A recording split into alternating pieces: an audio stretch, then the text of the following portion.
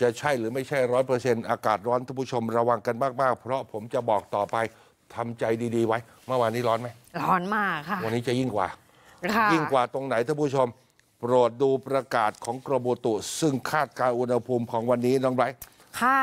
อุณหภูมิวันนี้ 13 เมษายน ภาคเหนือ สูงได้สุด 42 องศาค่ะ นั่นค่ะ ไปไกลกว่าเมื่อวานนี่เห็นไหมส่วนอีสานกับภาคกลางสูงสุด 41 องศานะคะ ภาคตะวันออกและกรุงเทพปริมณฑลวันนี้อุณหภูมิสูงได้ 39 องศาก็หย่อนกว่าเมื่อวานนิดหน่อยเมื่อวานนี้กรุงเทพได้ถึง 40 ใช่ สูงสุดนะค่ะเมื่อวานนี้ภาคเหนือเพชรบูรณ์ได้ถึง 43 ค่ะอ่าอ่าเนี่ยเนี่ยเนี่ยอีสานสูงสุดเท่าไหร่ 41 องศาค่ะ ท่านผู้ชม อันนี้คืออุณหภูมิ แล้วอุณหอันนี้คือคาดวันนี้ วันสงกรานต์ปีนี้ ขณะที่เมื่อวานนี้เป็นยังไงมีตัวเลขไหมโปรดขึ้นมาให้ดูอุณหภูมิจริงนั่น อุณหภูมิสูงสุดแต่ละภาคสูงสุดของประเทศไทยเมื่อวานอำเภอเมืองตาก 42.9 องศาค่ะ นั่งอยู่กันยังไงที่เมืองตาก รองลงมาอำเภอเมืองอุดรธานี 41.8 อยู่กันได้ใช่ไหมทองผาภูมิกาญจนบุรี 41.2 ค่ะ กทมปริมณฑลยังพอประมาณนะ คลองหลวงปทุมธานี 38.8 ค่ะ แต่ท่านผู้ชม วันนี้ พอเห็นประกาศกรมอุตุตั้งแต่เมื่อวานแล้วเมื่อตีห้าออกเป็นประกาศฉบับที่สองผมที่ดีใจ พายุฤดูร้อนบริเวณประเทศไทยตอนบน มวลอากาศเย็นกำลังปานกลางจากจีนจะแผ่ลงมาปกคลุม ภาคอีสานและทะเลจีนใต้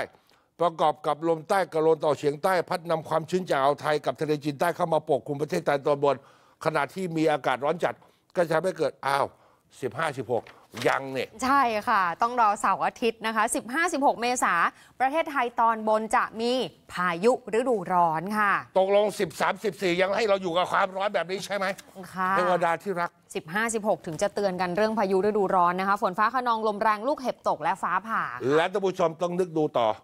ถ้าร้อนขนาดนี้ค่ะมวลอากาศเย็นมา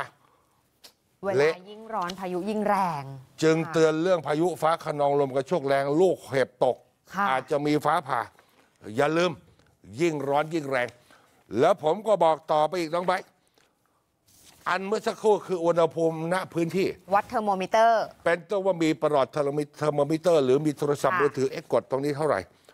แต่ดัชนีความร้อนสูงสุด ดัชนีความร้อนสูงสุดทำใจดีๆไว้ท่านผู้ชม วันนี้วันนี้ 13 เมษายน ขออนุญาต บางนากรุงเทพมหานครคาดหมายดัชนีความร้อน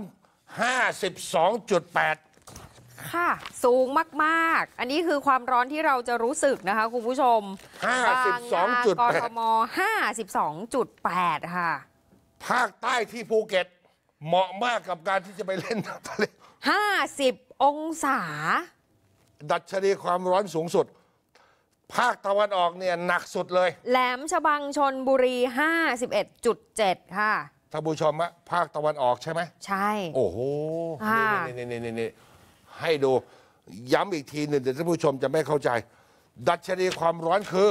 อุณหภูมิที่เรารู้สึกนะคะ คุณผู้ชม ความรู้สึกของเราณขณะนั้นว่ามันร้อนอย่างไร คือมันจะต้องดูเรื่องความชื้นสัมผัสณเวลานั้นๆมาประกอบด้วยค่ะ เพราะว่าถ้าเกิดชื้นมากเหงื่อเราไม่ออกเราก็จะรู้สึกเยาะร้อนมากนะคะ วันที่ 14 เท่าไหร่เดี๋ยวพรุ่งนี้มาบอกบอกทีละวัน แต่เห็นแวบๆนะโอ้โหท่านผู้ชมโอ้นี่ค่ะ ร้อนมากกว่าจะเริ่มมีมวลอากาศเย็นมา วันเสาร์นนท์อะก่อนจะมาท้าและทำให้เกิดพายุเนี่ยนี่15 10เราต้องรอพายุเสาร์อาทิตย์กันใช่ไหมค่ะดูกันต่ออีก อย่าไปออกแดดเด็ดขาดเพราะอะไร 12ถึง18 เมษายนณขณะนี้คือ 13 ดัชนีรังสีอัลตราไวโอเลต แสงอาทิตย์น้องไบรท์สูงมากค่ะ จะสูงพุ่งทะลุนี่นี่คุณผู้ชมเห็นไหม มี 11 แล้วก็มี 12 แล้วก็มี 13 แปลคือว่าตั้งแต่อะไร11 ขึ้นไปเนี่ยอันตรายแล้ว เรียกว่า Extreme extreme ถ้ามากกว่า 11 ขึ้นไปสีม่วง extreme ควรหลีกเลี่ยงการออกแดด เพราะแสงอาทิตย์จะเผาไหม้ผิวหนัง และจะส่งผลเสียต่อดวงตาในเวลาไม่กี่นาทีค่ะ ท่านผู้ชมกลับมาดูสิ 11 12 13 ของช่วงนี้จะเป็นยังไงนี่ค่ะ ตัวเลขพุ่งทะลุ 11 ไปเลยเนี่ยค่ะ อะและเราจะปิดท้ายครับท่านผู้ชมฮะเอาเป็นว่าพยากรณ์อากาศวันนี้ก็จะเป็นเรื่องเกี่ยวกับอากาศร้อนโดยทั่วไป ค่ะ ฟ้าหลัวตอนกลางวัน ไม่มีฝน ไม่มีฝนมีภาคใต้เล็กน้อย